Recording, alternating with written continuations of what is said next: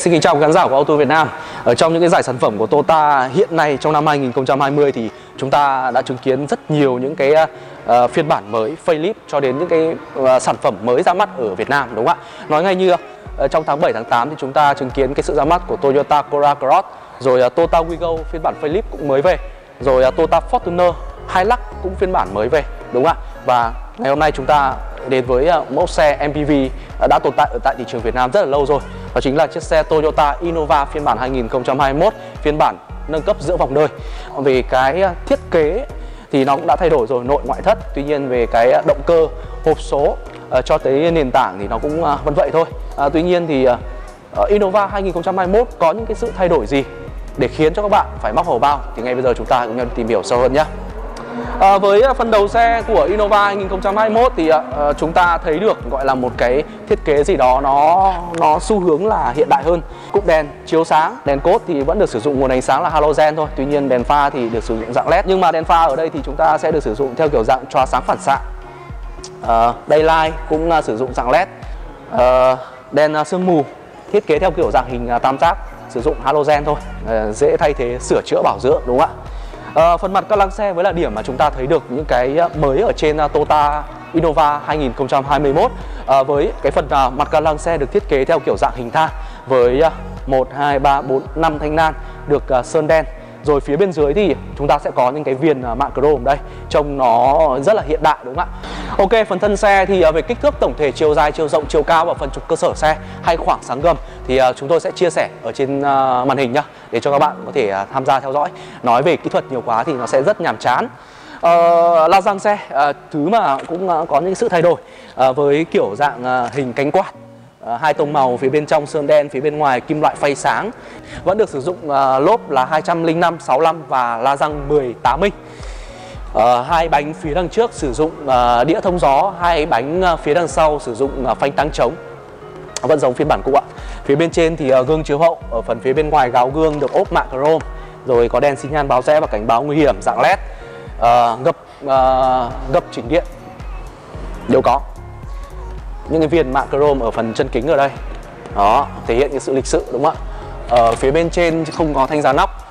Tay nắm cửa được ốp mạ chrome với uh, phần đuôi xe của Toyota Innova thì các bạn sẽ thấy rằng là nó cũng không có những cái điểm thay đổi quá lớn đúng không ạ? Chúng ta sẽ vẫn có một cái phần ô kính cửa rất là lớn ở đây và nó đảm bảo cái luồng ánh sáng vào bên trong cái khoang nội thất xe giúp cho chúng ta có được cái không gian cảm giác nó thoáng đúng không ạ? Bên cạnh đó thì với uh, Innova 2021 chúng ta vẫn có một cái phần uh, cánh lật gió thể thao ở đây và có đèn uh, phanh trên cao sử dụng dạng led rồi uh, cụm đèn à, hậu phía đằng sau thì à, vẫn được sử dụng hoàn toàn bằng halogen thôi. Nó rất dễ dàng cho chúng ta có thể là sửa chữa bảo dưỡng và chi phí thấp đúng không ạ? À, cản dưới thì à, cũng vẫn vậy với hai ba bốn con cảm biến lùi.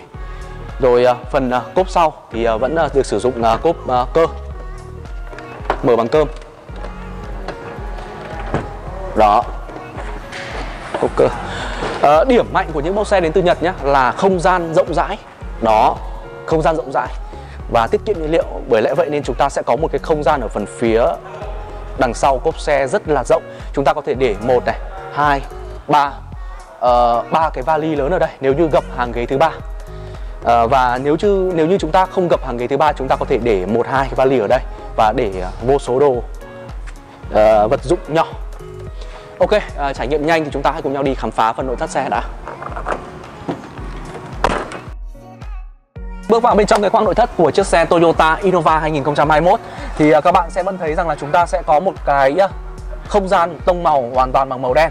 Chúng ta sẽ có những cái viền mạ chrome đây, rồi những cái phần ốp vân gỗ. Đấy, ốp phân gỗ ở đây. Ờ, bên trên cái à, phần táp ly, táp lô thì được sử dụng những cái phần da, giả da.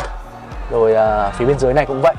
Đó, màn hình thì là màn hình 7 inch có khả năng kết nối với USB AUX rồi vân vân nhiều thứ ạ.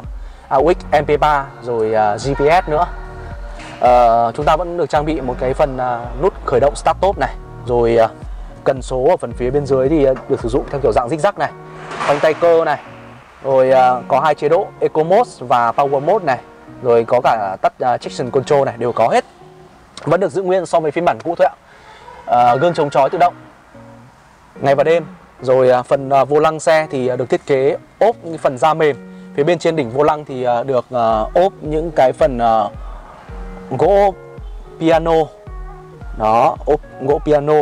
Bên trên vô lăng thì được điểm xuyết những cái phần chi tiết sơn nhũ mạ rồi những cái nút bấm như là tăng giảm âm lượng điều khiển các chế độ ở phần phía đằng sau cái cụm đồng hồ tắp lô xe trên màn hình 7 inch nữa rồi đạm thoại đánh tay vân vân nhiều thứ đúng không ạ?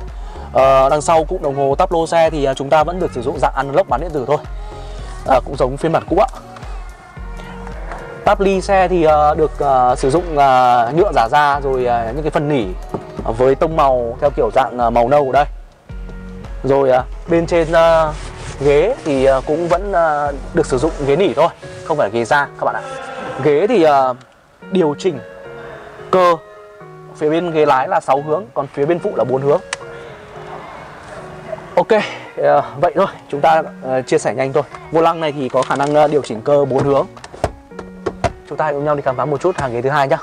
Với hàng ghế thứ hai thì ờ, điểm mà tôi muốn chia sẻ cho các bạn đầu tiên ấy Một cái mẫu xe nó gọi là gì? Nó là xe du lịch, xe gia đình. Thì ờ, không gian rộng rãi Nó là thứ mà chúng ta luôn luôn phải cần. Đó và điểm ờ, và tiếp theo ấy đó chính là những cái gọi là không gian mát mẻ. Các bạn sẽ có những cái cửa gió điều hòa phía đằng sau ở đây. Bên trên hàng ghế thứ hai đều có hàng ghế thứ ba đều có rồi à, những cái à, viền đèn nội thất à, ambient light ở đây. Đây là một trong những cái điểm nâng cấp nó đáng kể.